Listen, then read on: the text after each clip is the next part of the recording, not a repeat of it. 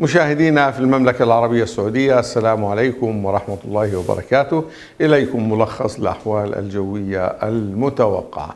استمرار الغبار العالق أيضا استمرار الطقس الحار إلى شديد الحرارة في معظم أجزاء المملكة.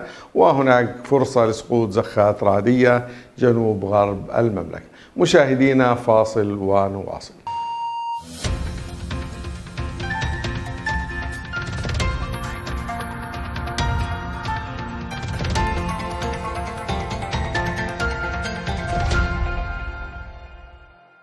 مشاهدينا أهلا وسهلا بكم مرة أخرى على الخرائط الجوية التي تمثل سرعة الرياح، نلاحظ أن هناك نشاط في سرعة الرياح في المناطق الغربية وبعض المناطق الوسطى بتكون مثيرة للغبار وبعض الأتربة وطبعا تؤدي إلى تدني مدى الرؤية الأفقية بشكل قليل.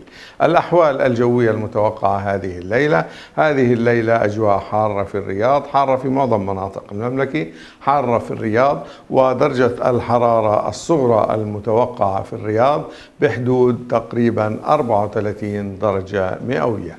الأحوال الجوية المتوقعة خلال الثلاثة أيام القادمة خلال الثلاثة أيام القادمة أجواء حارة إلى شديدة الحرارة في معظم مناطق المملكة وكذلك في الرياض يوم الاثنين الحرارة العظمى 46 والصغرى 34 الثلاثاء 46 والصغرى 35 ويوم الأربعاء العظمى 45 والصغرى 36 درجة مئوية. إذا أجواء حارة إلى شديدة الحرارة في معظم مناطق المملكة. الأحوال الجوية وكذلك درجات الحرارة العظمى والصغرى المتوقعة. إسكاكا 45 32 عرعر 44 إلى 31 تبوك 43 إلى 27 أجواء حارة في معظم مناطق المملكة. أيضا المناطق الغربية أجواء حارة إلى شديدة الحرارة.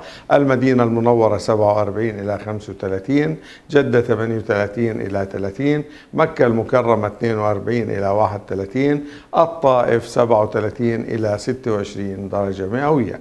المناطق الجنوبية الغربية أجواء غائمة جزئيا بوجه عام حارة نسبيا الباحة 31 23 أبها غائم جزئي 31 21 مع فرصة لسقوط زخات رعدية من المطر جازان غائم جزئي وحار 37 إلى 32 درجة مئوية. المناطق الشرقية أجواء حارة إلى شديدة الحرارة شديدة الحرارة في حفر الباطن والإحساء وكذلك الدمام. العظمى في الدمام 46 والصغرى 32 حفر الباطن العظمى 48 والصغرى 34 والإحساء 49 العظمى المتوقعة والصغرى 34 درجة مئوية. أجواء شديدة الحرارة في منطقة الرياض والوسطى حائل 43 31 بريدة 45 33 والرياض 46 إلى 34 درجة مئوية. مشاهدينا في المملكة العربية السعودية نتمنى للجميع السلامة وشكرا لمتابعتكم ونترككم في أمان الله.